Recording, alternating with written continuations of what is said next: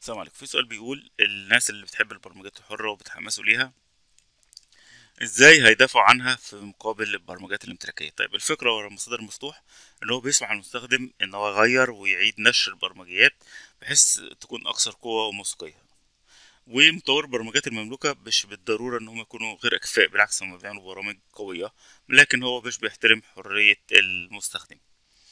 فالفكرة كلها إن إن مدافع عن البرمجة الحرة بيقول البرنامج بتاعك حلو قوي بس مش بسبب حريتي فما تنزعش من حريتي إن أنا أشتريت برنامج أقدر أديه للأصدقاء وأقدر أديه لابني. يعني البرنامج الامتلاكي بيقول لك إن أنت اشتريت برنامج مش حقك تديه لابنك حتى لو لعبة. ففي فرق بينهم. طب خلينا نشوف مثال إن في يعني شفرة الكود بتاعت البرنامج دي عاملة زي طريقة عمل للأكل. ف... فانت ممكن تفكر إزاي ممكن اعدل الوصفة دي عشان اشيل منها الملح. فالطاهي الشيف الكبير يقولك انت إزاي تنتقد الوصفة بتاعتي؟ دي بتاعت افكاري لازم تاخدها زي ما هي ما تقدرش تعدل فيها ما تقدرش ان انت تصلح عليها. طب أنا الدكتور بتاعي بيقول لي ان أنا ماكلش ملح اعمل إيه؟ إيه رايك تشيل الملح؟ يقول لك طب أنا عايز بقى تديني ضعف الفلوس في مقابل ان أنا اعمل لك الحاجة دي. فهو احتكر التغيير واحتكر شفرة الكود فبيفرض السعر اللي هو عايزه. تمام. وممكن يقول لك والله أنا هعمل لك بعد سنة سنتين. ليه؟ لأن هو عارف إن شفره الكود دي مش متاحة ومش قانونا إن حد يعدل فيها. ففي عديد من البرمجات اللي هي الامتلاكية بتبقى ممكن تكون free أو ممكن تكون فترة معينة free بس هي ما زالت امتلاكية. ما تقدرش إن أنت تشيرها مع الناس. فهي مش فكرة فلوس بس. فكرة شفره الكود source code دي متاحة ولا لأ؟ فالبرامج الحرة لو كتبت open source هتلاقي عشرات آه لا عشرات إيه ملايين البرامج الحرة متاحة وأغلبها بدون آه ثمن free وتقدر إن أنت تدفع مبلغ بسيط في مقابل إن أنت تحصل على الاسطوانة مثلا عليها البرمجيات ديت أو إن أنت تحمل الحاجة اللي أنت عايزها.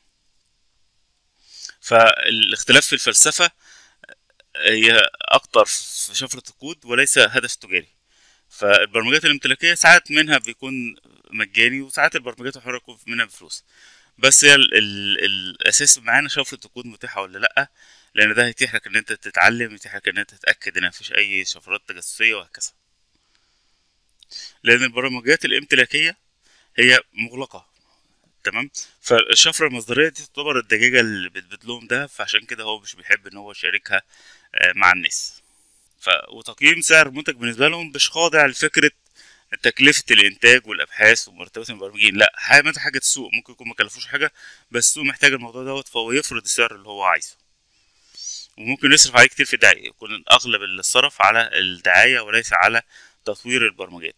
البرمجات الحرة كثير منها آه شركات بتطور الحاجات وتحط وآلاف المتطوعين موجودين وكل واحد مثلا ممكن يكون واحد بيعرفش البرمجة بس بيبدأ يقول رأيه وبيبدا يقترح ممكن يشارك في في الترجمة بتاعه البرنامج.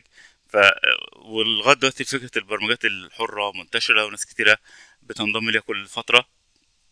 هو بيعتمد على إتاحة الشفرة وال source code للبرامج بتاعتها عشان الناس ترجعها وتنقحها وتطورها بحيث البرنامج يبقى خفيف مفهوش هدر مفهوش مساحة كبيرة. هتلاقي مثلا برنامج زي 3D Max واخد مثلا 15 جيجا بينما برنامج تاني زي ال Blender واخد 600 ميجا مثلا. تمام؟ فيعني قده تقريبا 40 40 مرة حاجة زي كده. ليه؟ لأنهم كل شوية بيحاولوا يشوفوا أي شفرة طويلة يحاولوا إن هم يختصروها. كله بيطلع الكود وكله بيطور فيه.